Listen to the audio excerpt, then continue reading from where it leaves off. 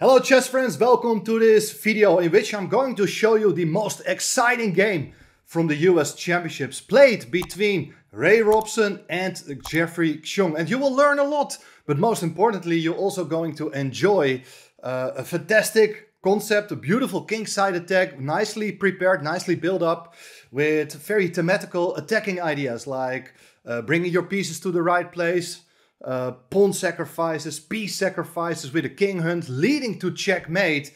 So this is all what you get to see just in one game. And I ask you for please making me a favor by becoming a member of this community. Please subscribe to the channel as I promise to show you much more interesting uh, videos like, uh, like this. Let's have a look. Ray Robson plays with white, goes for e4, e5, knight f3, and knight f6. We have the solid Petrov opening. It's one of the most reliable openings at the very top. And I imagine that you uh, don't like facing it, but look at this game. You get a weapon you may use yourself against this opening. You can take the pawn on uh, e5, obviously, but Robson plays the move d4. So he wants to open the center as quickly as possible to generate some active uh, piece play. Knight takes e4, and before capturing the pawn, the bishop comes to d3, attacking the knight. Black wants to establish that knight in the center, supports it with the move d5. Knight takes e5, so once again we have a symmetrical position, but don't worry, after knight d7, well the main move is knight takes d7, exchanging some pieces, but Robson played the move castling kingside, and that's a nice move you're just continue developing, and after knight takes e5, d takes e5, we see there's an imbalance uh, in the pawn structure. White has a nice advanced uh, pawn, and after the move knight to c5, intending to take the bishop, well, there are various uh, ways of playing here. You may move your bishop yourself back to e2, but there's no need to. Let's just play as active as possible. So Robson played the move bishop e3, putting a bit of pressure there. Black goes bishop e7, so, well, the knight is still protected. But the idea behind white's uh, setup is to launch the f-pawn. So here you can see the king side majority is coming. And um, if white were allowed to play. He would like to play the move f5 and these two pawns they can cause a lot of damage on, uh, on the king side. Knight takes d3.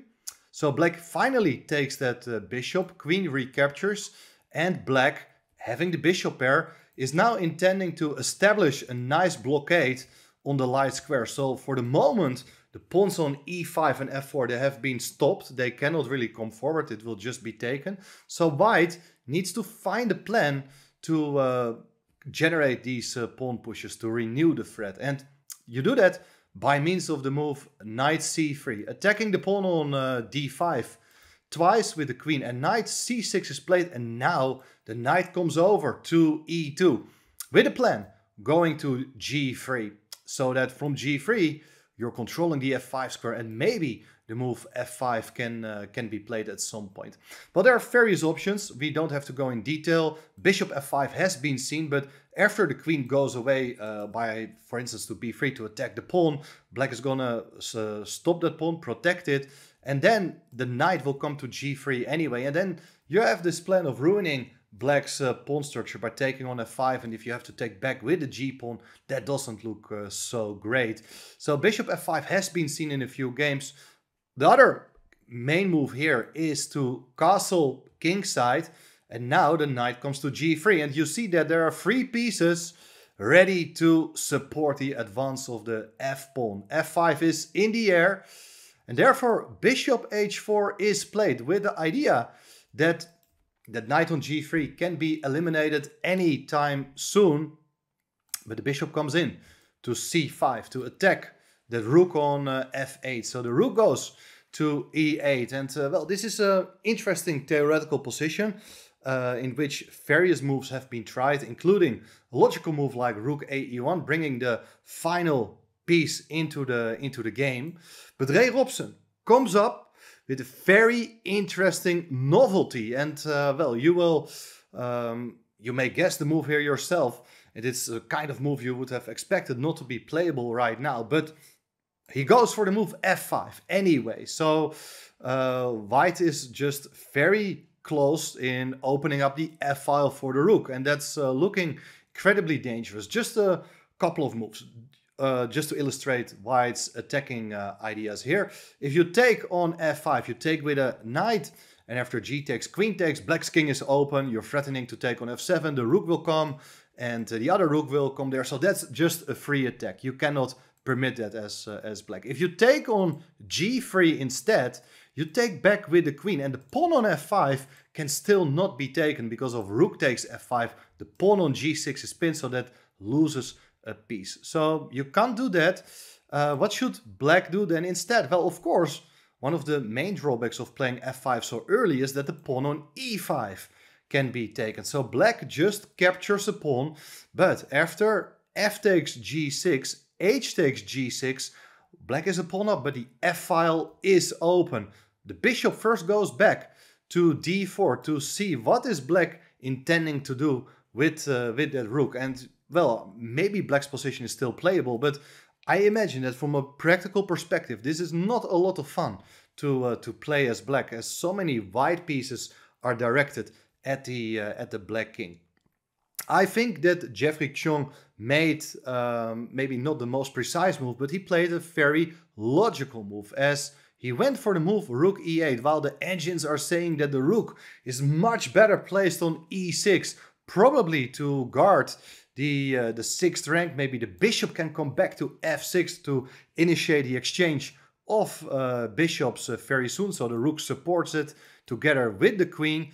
But who is going to place his rook on e6? You want to get out your pieces as quickly as possible. This bishop on c8 doesn't have an active square to go to. Anyway, rook e8 is played and now the main moment, the key move of this game. Rook takes f7. Beautiful rook sacrifice, which is so thematical. After king takes f7, there's not much else you can do. Rook comes to f1. And uh, now the black king is wide open. It cannot come back to g8 because it allows queen takes g6 with checkmate. The black king is just completely exposed. Is there anything else you can do? Well, you can block with your bishop, but after taking on f6, you grab the material. Now it's a queen versus two rooks. But this king is uh, wide open and uh, with a move like uh, queen d4 and very soon after king f7, queen f4, another check, king g7, you bring up the pawn to h4. There are very difficult moments ahead here for uh, for black. And um, once again, it's very understandable that uh, Xiong doesn't go for that line with bishop f6. Instead, he decided to run away with the king to the center. That seems very understandable. But there is this move, queen takes g6, threatening checkmate on f7. That is the main problem here, and black got to find a way to deal with it. And here again, if you not able to calculate all the lines, it's very understandable what Jeffery Xiong did here. He played the move bishop e6 to get the bishop into defense to cover the f7 square and the king can even try to escape via the d6 square as the bishop interferes along the sixth rank. Very logical move, but it's the decisive mistake. Black should have played here an insane looking move. King d7. It feels like the king is not able to run away um, efficiently. It's, it's blocking the path of the bishop, but after something like rook f7, you block with your rook on e7. That is the main idea. Now after queen f5 check, you cannot go back to e8. That is checkmate on f8. Nice mating pattern, queen and rook. But you can go queen c7. And after queen to f4, well, don't play this move, uh, queen d6, because it allows bishop e5.